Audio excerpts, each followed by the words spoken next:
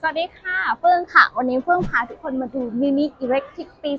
2022 กันค่ะ เปิดตัวมา 2 สีด้วยกันนะคะ จะเป็นสีขาวและสีเทาค่ะ ปีนี้มีอะไรเพิ่มเติมบ้างพาไปดูค่ะ ออปชั่นรับรองว่าจัดเต็ม ราคาเปิดตัวจะอยู่ที่2 4 5 9 0 0 0 บาทค่ะ เดี๋ยวตามเฟื่องไปเลยค่ะ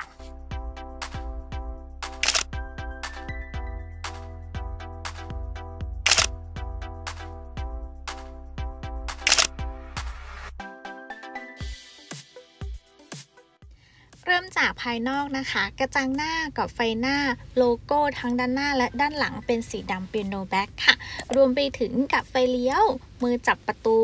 กับไฟท้ายที่สำคัญนะคะ ก็จะมีในส่วนของตัวอักษรที่เขียนว่า Cooper S เป็นสีดำค่ะ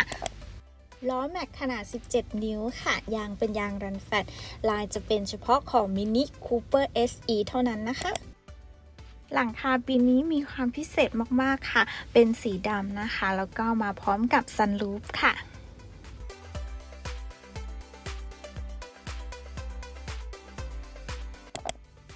ไฟหน้าเป็น LED daylight เต็มวงค่ะ ปรับสูงต่ำอัตโนมัติ และไฟเลี้ยวตามพวงมาลัยค่ะ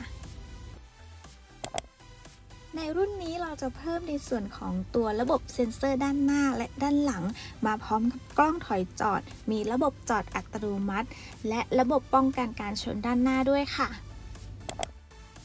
ำหรับการตกแต่งภายในยังคงความเป็นเอกลักษณ์ของมินิอิเล็กทริกนะคะ ด้วยคอนโซลด้านหน้าสีเหลืองสลับดำค่ะ จอกลางขนาด 8.8 นิ้ว ทัชสกรีนได้ค่ะ รุ่นนี้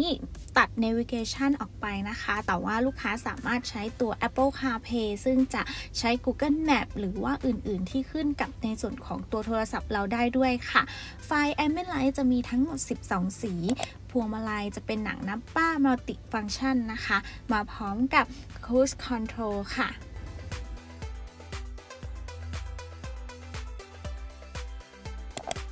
เป็นฮามานกระดอน 12 ตัวรวมซับนะคะ แอร์จะแยก 2 ฝั่งคนนั่งและคนขับ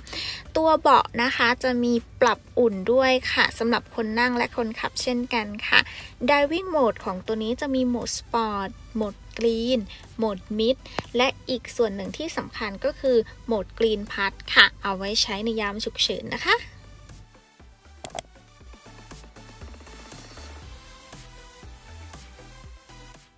ระบบส่งกำลังและวงจรอิเล็กทรอนิกส์ที่ควบคุมการจ่ายไฟฟ้าไปยังระบบต่างๆ จะติดตั้งอยู่บริเวณหน้ารถค่ะ ส่วนแบตเตอรี่จะเป็นลิเธียมไอออน 12 โมดูล ติดตั้งเป็นรูปตัว T อยู่ใต้ท้องรถนะคะ